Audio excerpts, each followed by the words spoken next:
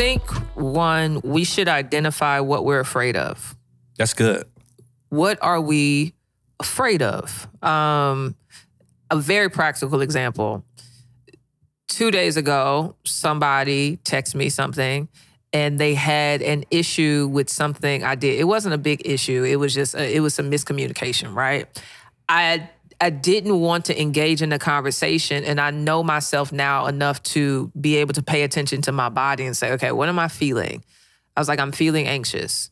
Why am I feeling anxious? Because I'm afraid. Mm. What are you afraid of? And I realized that my history with, with that person is that sometimes when we have had conversations that are hard, I leave on the other end feeling bullied right? And so I had to trace it like, oh, I'm afraid that I will be bullied. Then what are you afraid of?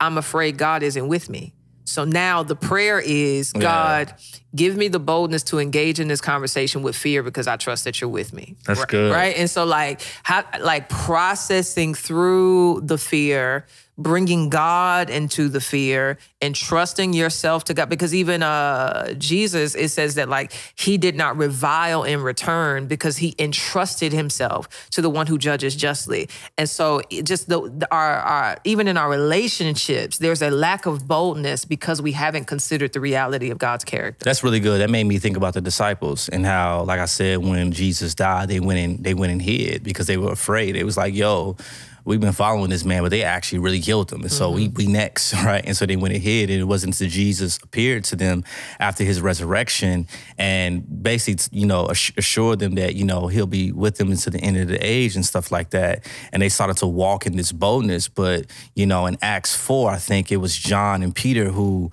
who essentially, you know, uh, was out preaching the gospel, and Peter ended up healing this man who was crippled, and they was thrown into to, to jail. And when they was thrown into jail, you know, they had to wait to the next morning for them to kind of you know be judged by the by the by the officials and all of that. And they had all night, you know, to think about their deaths. I I, I, I wrote about this in my book, but just think about what they had to been going through, right? Um, trying to like I, look when you when you're sitting in jail and kno- knowing that you might die, your mind becomes really creative. Yeah. yeah. Right, you start to think about: uh, uh am, uh, am I going to be beheaded? Mm-hmm. Are they going to hang me? You know, are they going to crucify me like, like- crucify me like they did Jesus?